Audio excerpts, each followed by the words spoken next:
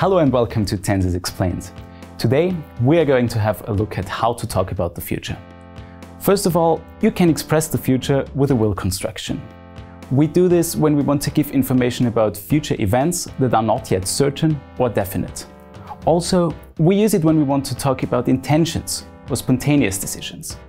Let's have a look at the dialogue and see how the will future is used. Hey Kate, do you know what you're going to have? I haven't looked at the menu yet, but I think I will have to choose the Caesar salad, as always. Good idea, I think I'll have that as well. So, any plans for the weekend? Me and my best friend want to go hiking, but I don't know about the weather. Well, I think it will rain all weekend.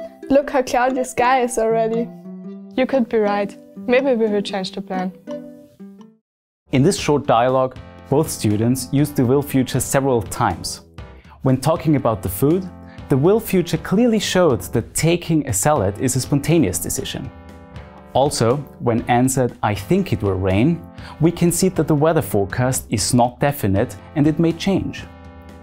There is also another way to talk about the future. We can also use the present tense progressive for events that have been planned and are going to happen in the near future. Paul, what are your plans for tonight? The others are planning a party. That sounds great, but I promised my brother to go to the movies, so I won't make it to the party.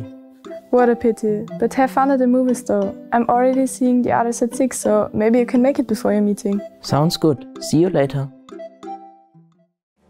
As you can see, the present tense progressive was used often to talk about future events. For example, they used meeting my brother to talk about things that are going to happen soon.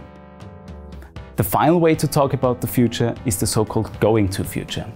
We use it when we are talking about planned events on which we have an influence, as well as events which we are certain that they are going to happen. It can also be used to talk about events that are going to happen in the not too distant future, as well for commands and refusals. I'm going to stop now.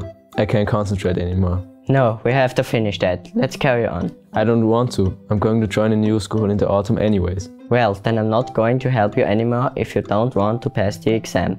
Okay, but let's have a short break at least. Here, students were talking about several future events and always used the going to form.